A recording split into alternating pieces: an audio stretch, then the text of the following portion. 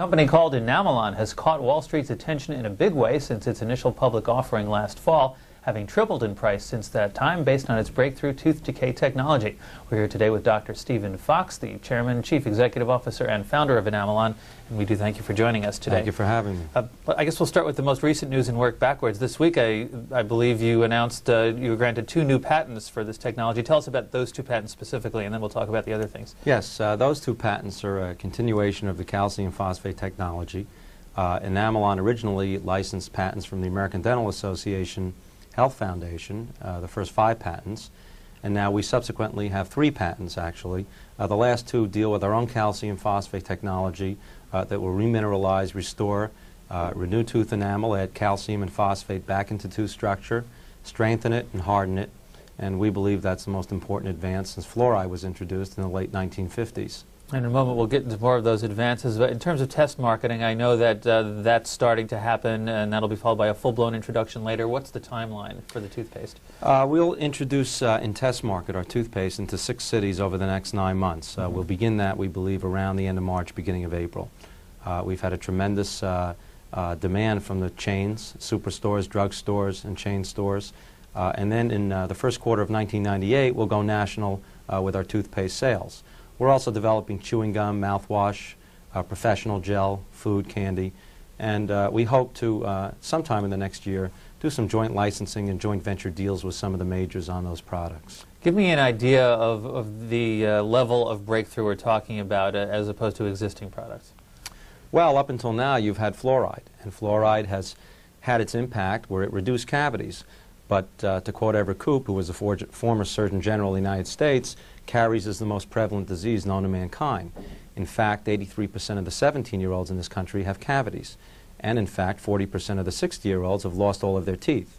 So there must be something that uh, has to occur in the last 40 years, and that's our breakthrough.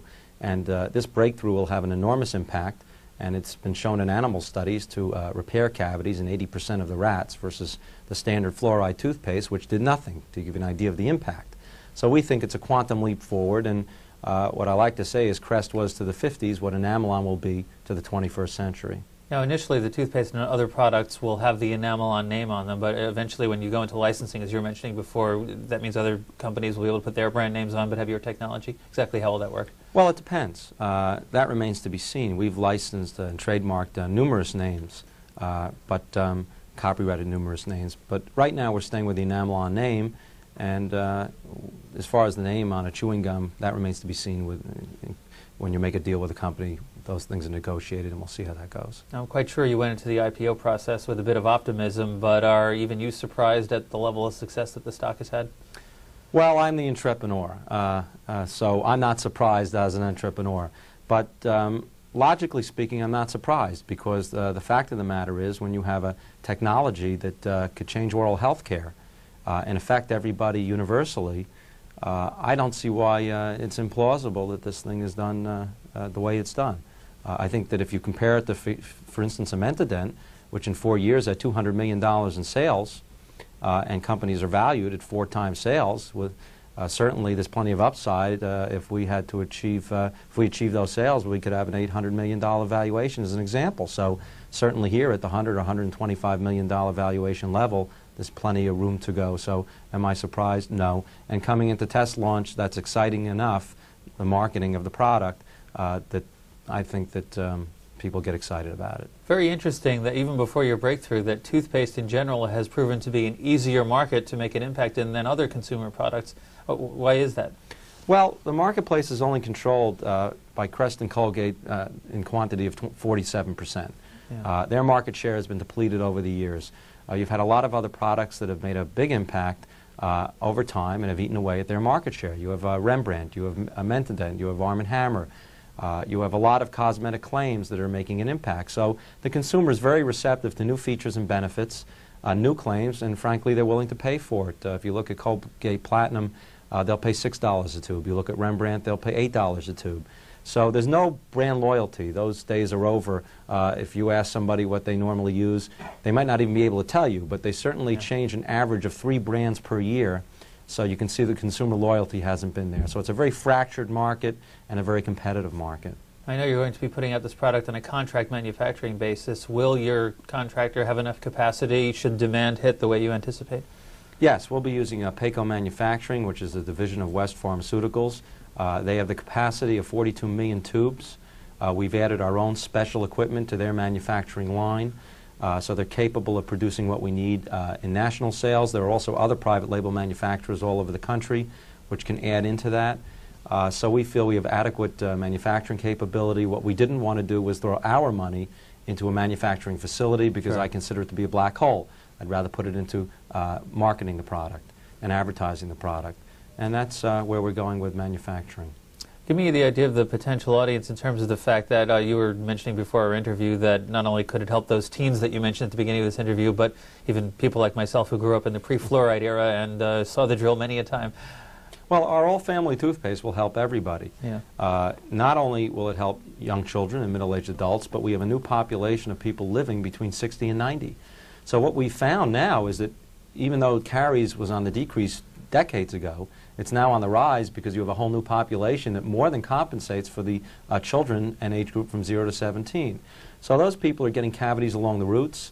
Uh, they're also getting sensitive teeth. One out of five adults is affected uh, in that way because of periodontal disease, and they're also getting cavities along the roots. So our desensitizing line, which will follow our, uh, follow our all-family toothpaste launch, will help those people also in a considerable way. Tell me about the role that academic partnerships and alliances have played in this whole process. I understand they've been quite important. Well, yes. Uh, originally, the technology came from the American Dental Association. They have a long history of having developed important products silver fillings, amalgams, uh, white fillings, sealants, uh, the dental mirror, the dental handpiece that dentists uses, the dental x-ray machine, the Panorex x-ray machine, impression materials that dentists use. So the American Dental Association has a long history of having done this. Uh, we originally worked with them with NIH grants and National Institute of Dental Research grants. Uh, the National Institute of Standard and Technology was the facility that we worked in originally. Uh, they have a $350 million annual budget and 3,500 scientists. So we've been very fortunate in that we've had American Dental Association involved, uh, the federal government involved, and then of course when we licensed the technology, uh, we raised capital and took it to fruition ourselves. How is it that these products are not being put out by a Colgate Palmolive or a Procter & Gamble? If you were just studying this as a business case, you would wonder that, and I do wonder that. Well, in the toothpaste uh, arena, uh, we have, uh, and of course the other products also, we have six, uh, eight patents that have been granted right now. Two more were granted yesterday, and we have at least 10 more patent pending. So a combination of 18 patent and patent pending are a tremendous barrier to entry uh, that I think is quite formidable. So that's the first uh, protective barrier that would keep them out. And um, it took many, many years, 15, 20 years to bring this to fruition. So I feel that we're very, very uh, far ahead and have a lot of protective barriers that uh, will eliminate the competition uh, in calcium and in phosphate uh, uh, toothpaste areas. Throwing in the caution that this would be a forward-looking statement, it would only be a projection, et cetera, et cetera, would you feel comfortable with the idea that profitability might ensue after the successful introduction of the toothpaste in the first Well, quarter next year? I don't predict for a living, but I'm certain that uh, somewhere along the line, as our sales ramp up and we achieve, uh, for instance, again, uh, to make it an analogy, if we do what Mentadent has done, and in four years they got up to $200 million in sales, we'll be quite profitable, I'm sure. And uh, the other toothpaste companies are quite profitable, so certainly with the most important therapeutic claim in the last 40 years, I can't imagine that we won't do well. Do you, do you ever feel like people are saying to you, uh, gee, how, how did you become an overnight success and only, uh, when you've been working at it for 15 years and now Right, you're an overnight right. success? You ever get a lot of that? What I tell people is if you work all day and all night, you're bound to get lucky. Uh, it's certainly not an overnight success, obviously. Yeah. Uh, I, had to get an education first, and then I had to go out for four years and raise money privately. Right. I raised $4 million myself, and I raised $2 million from Allen and Company.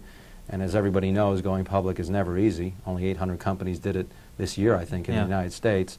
So you work hard, you work all day and all night, and eventually, uh, if you have the right idea and you work at it and it's honest, uh, you'll develop the right uh, project and bring it to fruition. What's been the reaction to this among your fellow dentists? Uh, it might be interesting to be a fly on the wall in one of those conversations. I think there, you know, the dental profession has always gotten behind fluoride. Uh, when Yeah. fluoride was introduced, they introduced it in the water. Uh, they presented it in their dental offices. They put it into toothpaste. Uh, it's a disease. And uh, just like the polio vaccine came along, it didn't put physicians out of business. The dentists will have uh, cosmetic dentistry to do, orthodontics, uh, oral surgery, endodontics, periodontics.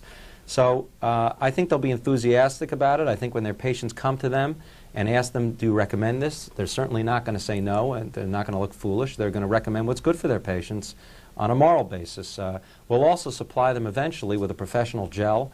We're going to educate them, bring them into the fold. In fact, we hope that later on we can develop ways for them to diagnose demineralization at an earlier stage uh, than an x-ray machine would at this stage of the game. So we really hope to bring them into the forefront of where dentistry is going and oral health care is going in the next uh, century. Now, you you obviously already were a good businessman, showing the ability to raise money and all, all that stuff, but despite that, since you've gone public, what's it been like making the transition to someone who not only uh, practices dentistry but suddenly has to answer investment community type questions day after day? Well, for most of the time, I've put my drill down. Uh, Yeah. I've become, I, I practiced uh, more infrequently than I, I did before. But what I meant was that you got mostly dental questions in the old days, and now it's more I monetary think in nature. You know, having lived through the project, I can Yeah. answer these questions from the dental point of view, from the uh, business point of view, because I did my own private placements and Yeah. I'm running the company. I've got a wonderful team. We have 14 full-time employees with tremendous marketing uh, experience and tremendous experience in the toothpaste uh, industry. So I think if you're honest and you answer the questions honestly and, and you work hard and, and you have the right people around you and the capital is there, uh, which all of those things are, uh, you can succeed and the transition has been an easy one. Tell me about the rest of your management team. I know that's one thing Wall Street likes to keep an eye on. That one person, if you yanked him out, wouldn't the whole company wouldn't collapse on top of itself. So tell me about the rest of your management. It's a team. wonderful team. Uh, there's an old expression, know what you know and know what you don't know. The first thing I wanted was a president who had a lot of marketing experience. Uh, Brooks Cole uh, was president of the Mentholatum. He took them from 50 to 120 million dollars in sales. He was vice president of marketing and sales at Vicks and Avon, uh, where he managed Lavoris and NyQuil. Uh, he was vice chairman of the uh, over-the-counter pharmaceutical board.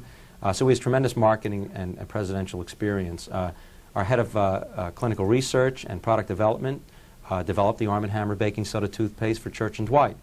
Uh, Tony Winston, who is our head of uh, clinical science, has 60 patents to his name, 14 of which are in oral health care, which is unprecedented. Uh, we have other, uh, our engineers from Arm & Hammer, one of our other, other scientists are out of Arm & Hammer.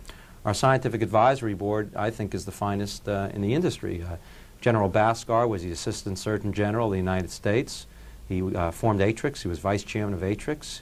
He also was a consultant to the Board of Directors at Vident. Joseph Henry uh, is the former Dean at the Harvard School of Dental Medicine, where I'm currently on the faculty right now. Uh, you've got Dr. Bruce Merrifield, who won the Nobel Prize in Chemistry. He also was on the Board of Directors at Vident. Uh, so we have a wonderful, Dr. Tanzer is one of the foremost authorities on animal trials in the U.S., uh, chairman of two departments at the Medical and Dental School at the University of Connecticut. So we have a wonderful team uh, uh, working to bring this to fruition. You pointed out earlier that the marketplace has shown a willingness to support prices above that which have been traditional for toothpaste, mouthwash, etc. Can you, at this point, predict uh, a certain price level for the products, or does that sort of remain to be seen? No, I can. Uh, we're sort of, uh, we feel that $3.50 in that general area where Mentadent has been priced is a good price. Okay. We don't want to be as high as $6 for a Colgate Platinum. We don't want to be as high as Rembrandt at $8. All of them are successful.